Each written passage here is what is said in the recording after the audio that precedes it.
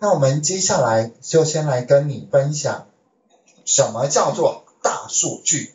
哎，这个图叫做什么图？你们知道吗？它就叫文字云。好，这就是我用 Tablet 去做出来的，这样可以了解哦。哦，我们用那个 Power BI 是做不出来文字云。那从文字云这个图表，你可以看到哦，你可以看到什么？跟什么有关的字？跟例如说，我今天我只打 Big Data，然后去找这假设是一万篇的文章里面，跟 Big Data 经常出现的字是什么？这就是文字云关关联嘛，关联。举例来说，我们今天我当然要把大数据分析里面精髓告诉你们，我就先去把很多很多现在大家都在做大数据分析的文章、网络文章全部收集过来，然后呢，直接去跑一个大呃文字云，它就会告诉，哦，那个 big data 哦，大家可能最关心的是什么？你应该看得到吧？storage，storage 是什么？store 是商店，对不对？storage 是是一个储存这些大数据分析的一个地方，仓储。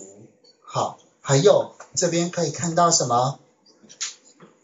分析大数据分析，对不对？还有什么？Technology 就是那个所谓的一个逻辑，我真的要告诉你，这个文字云的重点，这个文字云的重点你已经看完了，而且这应该在你的脑海里印象很深刻，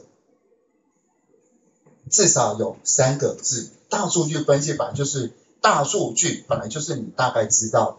可是你会对这三个字很有印象，再过来就是看一下这些文字的叙述了。我的意思就是说，看图比看文字更快让人理解跟印象深刻。你们说是不是？是吧？你不要再去看那些中文字了，看那些中文字也是浪费时间。好，这样子有没有问题？所以接下来我们可能重点。我刚刚有没有跟你们提，我们要教什么大数据的分析，那个分析的方法，对不对？那个就是 technology 一个技术，技术。然后至于说资料仓储，例如说你的资料是从什么地方来的，对不对？storage，那你应该会有很多的资料的分析，所以我们是分析它都是写一些函式，然后再透过一个。统计图表来去呈现，好了，那我们就大致上哦，先讲解到这个地方，什么叫做大数据？